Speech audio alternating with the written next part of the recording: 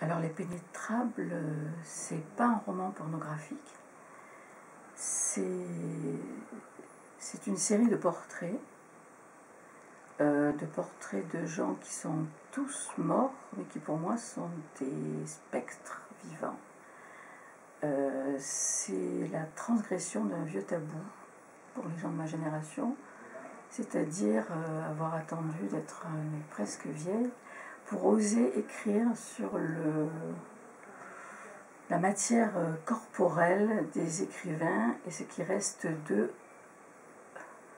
Quand, parce que bon, ils étaient sur leurs livres, ils se penchaient sur ce qu'ils écrivaient, et c'est tous ces fantômes qui m'intéressent.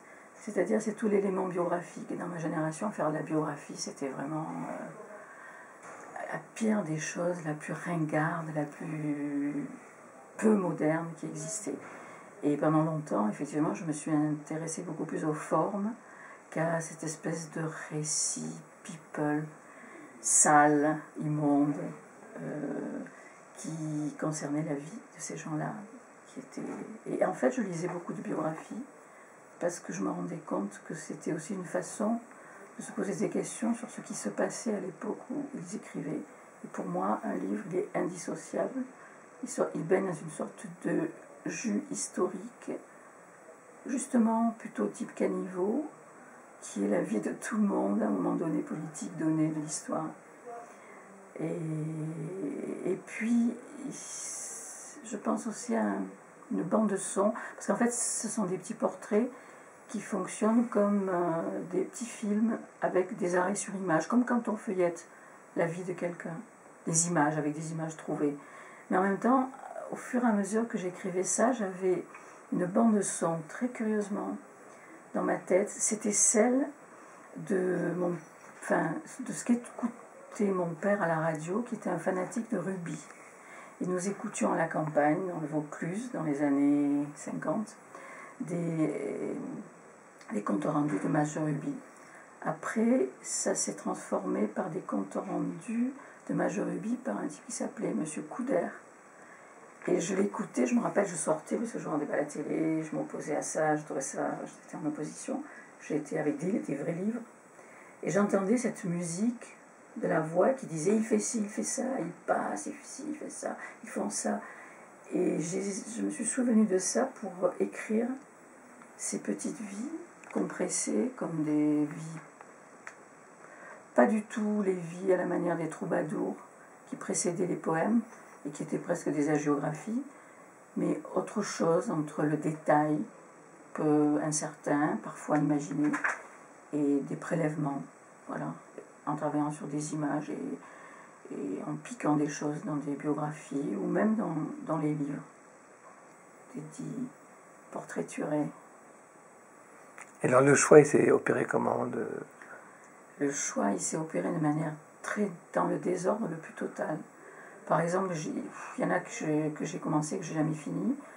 C'est l'Einstein et le Proust qui sont des, pour moi des grosses vedettes dont je me suis tapé de, profondes lectures.